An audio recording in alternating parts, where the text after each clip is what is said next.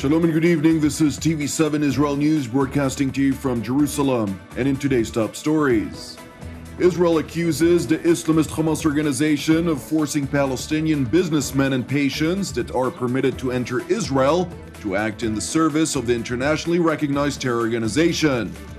Moscow accuses the West of failing to control violent Islamists in Syria, a fact which indefinitely delays the resumption of peace talks.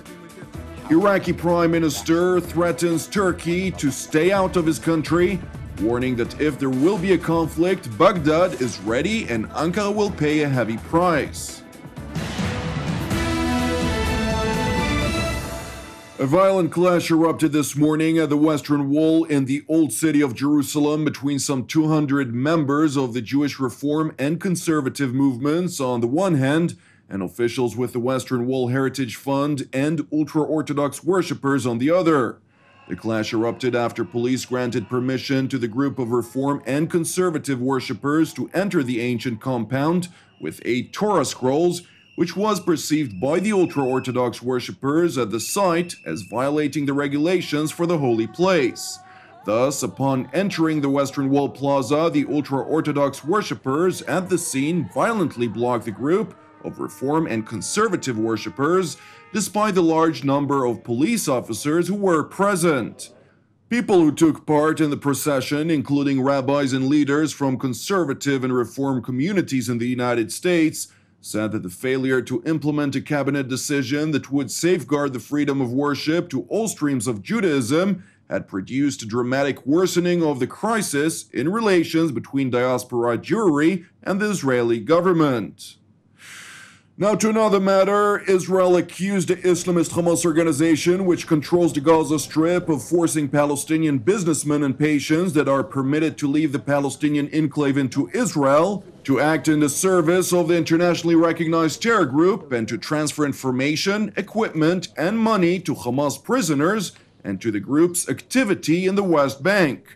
According to a statement by the Israeli coordinator of government activities in the Palestinian territories, Major General Yoav Mordechai, the names and pictures of two Hamas operatives, Ibrahim Adwan and Muhammad Salem, who are stationed at a Hamas checkpoint set up near the Erez crossing between Israel and Gaza, are in charge of recruiting Palestinians into the service of Hamas before entering the Jewish state. Now, with regard to the ongoing conflict in Israel's northern neighbor, Russian Defense Minister Sergei Shoigu accused the West of failing to control violent Islamists in Syria, a fact which had indefinitely delayed the resumption of peace talks. Shoigu said that rebels backed by Western governments had been attacking civilians in the Syrian city of Aleppo, despite a pause in Syrian and Russian airstrikes. В результате перспектива начала политического процесса и возвращение сирийского народа к мирной жизни отодвигается на неопределенное время. Separately, a Kremlin spokesman said that a temporary pause in Russian and Syrian government airstrikes on the rebel held eastern part of Aleppo was in force for now, but could not be extended if the rebels did not hold their attacks against the government controlled western part of the city. Western backed rebels fighting alongside the Al Qaeda linked Jabhat Fatah al Sham launched an offensive last week against government held western Aleppo, more than a month into an operation by the Syrian army to retake the city's rebel held eastern districts, which it had already put under siege. During the course of the rebel attack, dozens of civilians were reportedly killed in what the United Nations said may constitute war crimes. Such high numbers of civilian casualties suggest that armed opposition groups are failing to adhere to the fundamental prohibition under international humanitarian law on the launching of indiscriminate attacks and the principles of precaution and proportionality. The reported use of ground based missiles, along with the use of armored vehicles loaded with explosives, used in an area containing more than 1 million civilian inhabitants, is completely unacceptable and may constitute a war crime. Since October 18th, Russia and its Syrian allies have halted air attacks on Aleppo after Western governments accused Moscow of indiscriminate targeting of civilians that caused a large number of casualties, an allegation Moscow denies.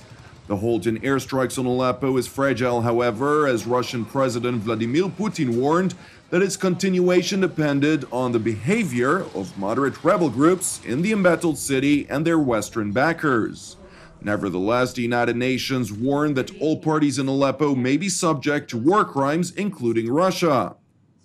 All parties in Aleppo are conducting hostilities which are resulting in large numbers of civilian casualties and creating an atmosphere of terror for those who continue to live in the city.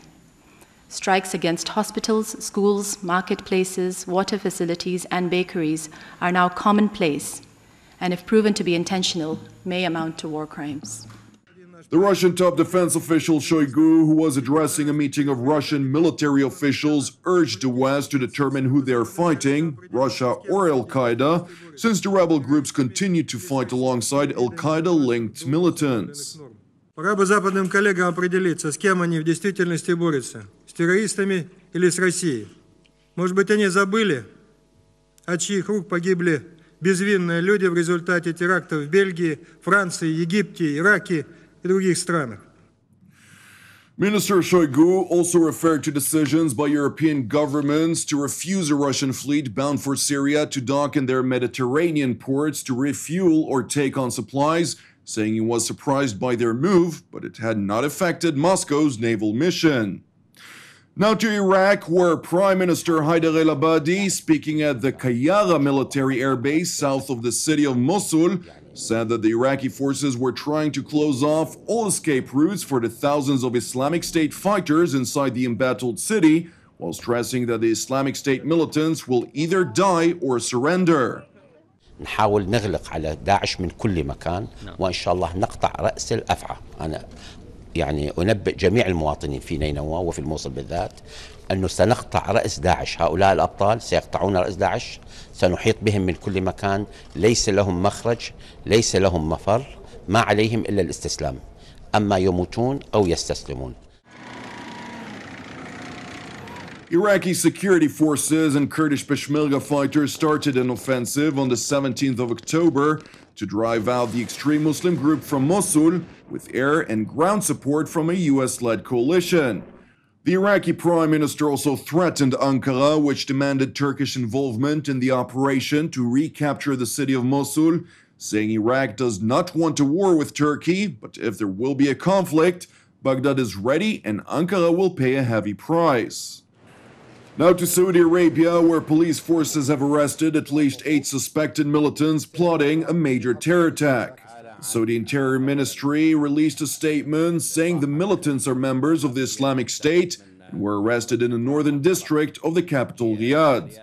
هذه المتابعة الأمنية أسفرت بتوفيق الله تعالى عن أولا الإطاحة بخلية إرهابية تتخذ من محافظة شقراء منطلق لعملياتها الإرهابية وتعمل لاستهداف رجال الأمن the eight arrested suspects included two Pakistanis, a Syrian, and a Sudanese, who had been seized after intensified security investigations. Authorities revealed that eight Saudis and a Bahraini national are among suspects still at large. Thank you for watching us. You can also watch us at TV7IsraelNews.com or TV7.fi. For any comments, please send your emails to IsraelNews at TV7.fi. For more updates from Israel and the region, please join our Facebook page at TV7 Israel News. Praying for the peace of Israel and the peace of Jerusalem. I'm Jonathan Hassan. An Erev Tov, and we will see you again tomorrow at the same time.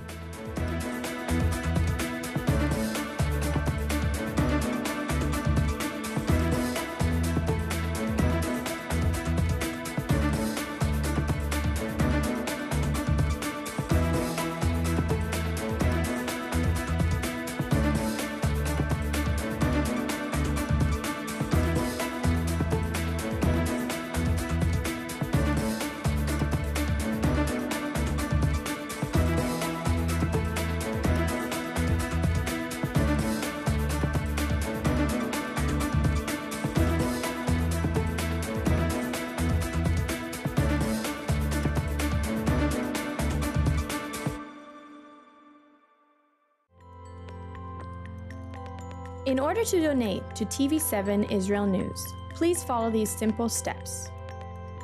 First, press the Donate logo located at the bottom left side of TV7 Israel News Facebook page, or on the Donate tab at the head of the page. Then insert the amount you'd like to donate and fill in your credit card information. Just like this. And press Review Donation and continue. After reviewing your donation details, please press Donate to finalize your donation. That's it! Your donation is now complete, and an email with your donation details has been sent to your email address.